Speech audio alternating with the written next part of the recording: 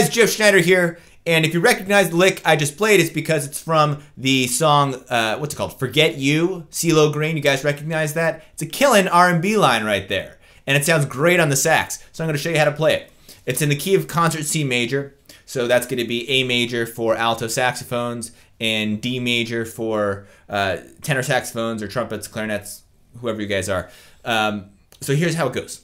You start on an A. You're going to go up the uh, the sort of sort of like an A major arpeggio.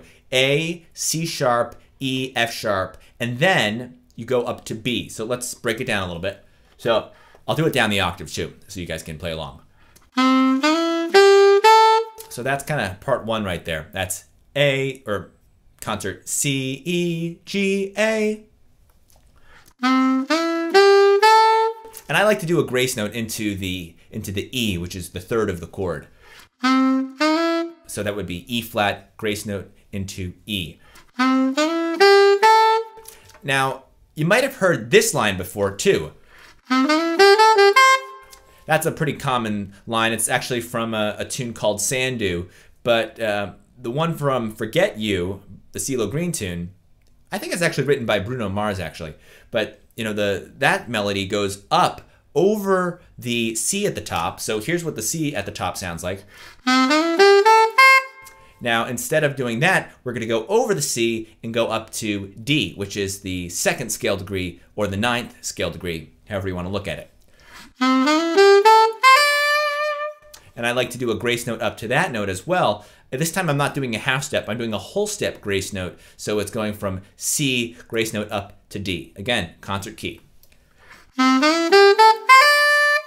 And then, this is my little touch on the line. Uh, the way that it, it is on the record, it goes like this. But I like to do an extra little trill. So when I get to that top D, I'm going to do a, sort of a little turn on a half step right above. So that would be E flat right above that. And on the saxophone, on an alto saxophone at least, since I'm playing, and now I'm going to talk in alto key for a second, since I'm playing that high B, I'm just doing the, the side C trill, trill key real quick to get that sort of blip of a C to come out. And then the last note as I just played is going to be back to concert key an A, which is the sixth scale degree with uh, the key of C major.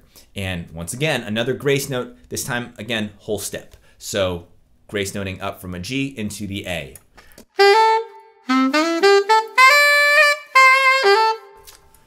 That's the lick. It sounds really good up the octave too. I'll do it once more like that.